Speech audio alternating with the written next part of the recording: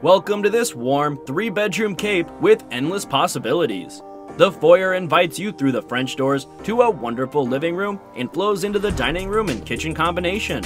Continue down the hall to a large den and full bath. Outdoor entertaining is easy and fun with a view of the rolling hills. Pick up the phone and call Carrie Barry to schedule a tour today.